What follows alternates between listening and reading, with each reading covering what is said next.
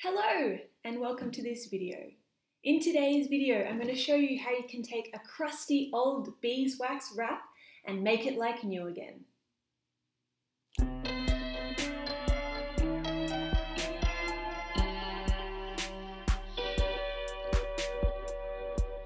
Now I've got a confession to make.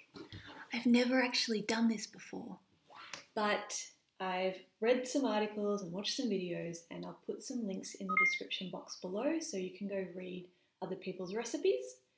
That said, I think we'll be able to do it, and you'll be able to see if anything goes wrong.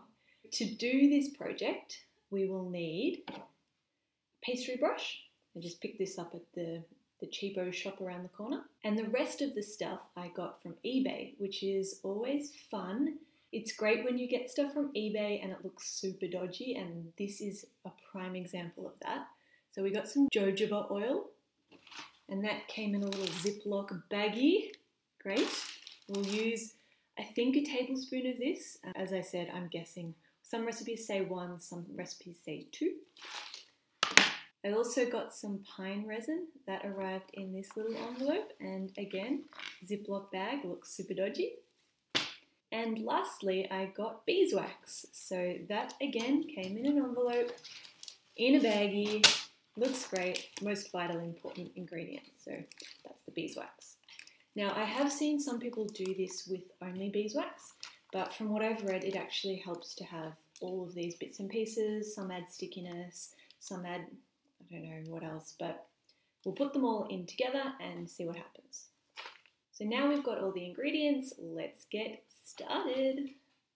I'm not sure why the oven feels threatened, but anyway, we preheat it to a low temperature, about 100 degrees Celsius, and chuck the kettle on to boil.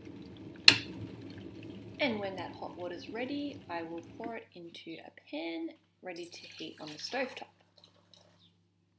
Next, I place a glass bowl in the pan, and into that we're going to pour our eBay ingredients.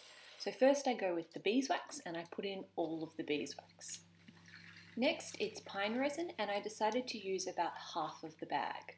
Then I add one tablespoon of the jojoba oil. Next I mix everything together and we wait until it's all melted.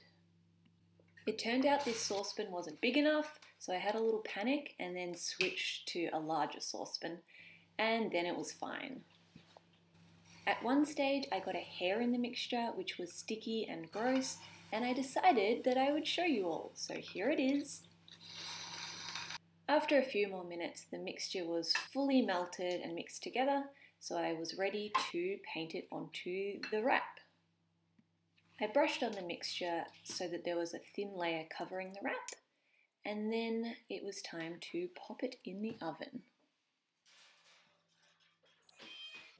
Once the wax had fully melted into the fabric and the fabric was a little bit see-through, it was time to pull it out of the oven. Now, unfortunately, I'd let it dry a little bit too long on the tray.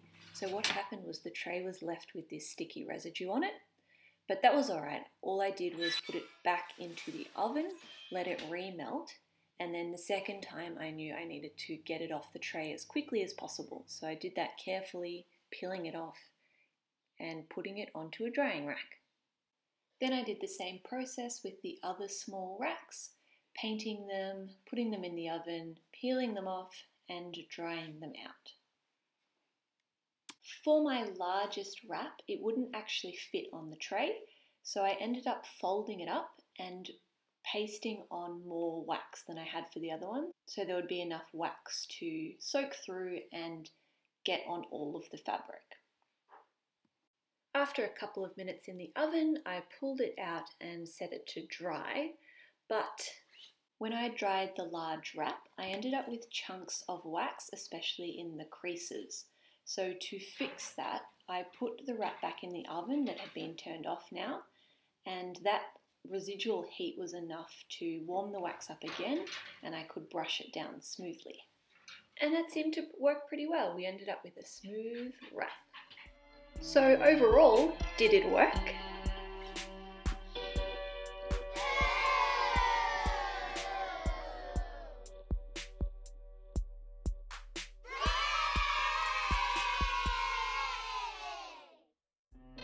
Now my beeswax wraps were like new again and I could use them in all different ways around my kitchen. How good is that? What about the rest of the wax mix? Now with all the leftover beeswax mix, I would like to scrape it all off, save as much as I can and actually put it into one of the eBay bags so that next time I need to do this, the mixture's already ready to go. On the tray I used a metal knife to scrape off as much of the wax as I could and I did a similar thing in the bowl, trying to save as much as I could. So there we have it. Now you know how to revitalize, refresh and re-wax your beeswax wraps. Thank you so much for watching this video. If you liked it, please give it a big like, thumbs up. If you want to see more videos like this, please hit that subscribe button. And as always, if you have an idea of something that you would like to see me make a video doing, then please chuck something in the comments. That's all for now. Until next time, see ya!